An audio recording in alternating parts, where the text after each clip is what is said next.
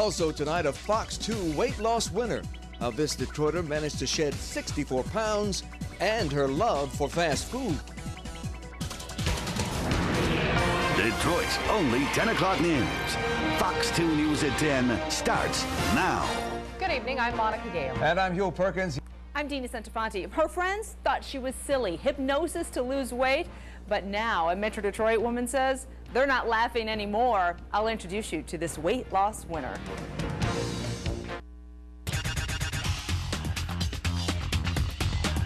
I'm Dina Centofanti. I want you to meet a weight loss winner who says she simply changed her mind and dropped the weight.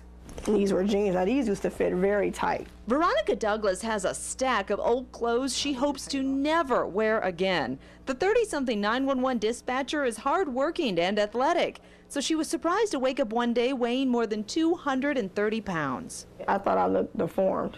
I ain't for the middle of the box. As the girls' basketball coach at St. Scholastica in Detroit, she realized she needed some coaching herself, so she did something very unexpected.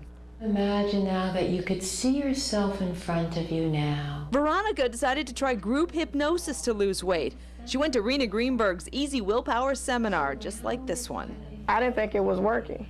Because I'm like, well, because when she was hypnotizing me, I was looking around like this, like, well, everybody else looks like, you know, they're asleep, but I'm still woke, so it didn't work. The two-hour seminar starts with relaxation. Then there's the swinging pendulum. Your pendulum does move.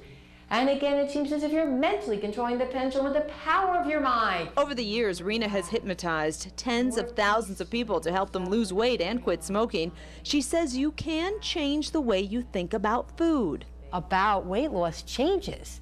And instead of it seeming like some kind of a dreaded task, it's something we begin to look forward to. And we begin to associate more pleasure with those foods that are best for us, and we no longer want those foods that are harmful to us. So it really is changing the subconscious images.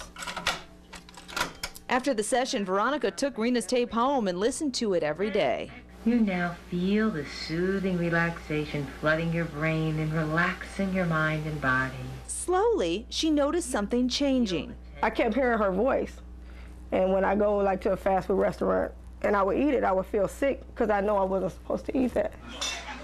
Veronica never stopped going to the Eight Mile Pancake House, one of her favorite breakfast spots, but she found herself becoming very aware of how much she was eating, keeping track of everything in a food journal, and doing something we should all do, asking for a carryout container before even beginning to eat her meal, taking half of it home. Just half the eggs, two pieces of toast out of four, and then two sausages. After about a year, Veronica lost 64 pounds and she's not done yet. The proud coach is now teaching her girls about achieving goals on and off the court. If you would like to blog about hypnosis to lose weight or any other unconventional weight loss method, go to our website. It's myfoxdetroit.com. Working for your health, I'm Dina Centofanti.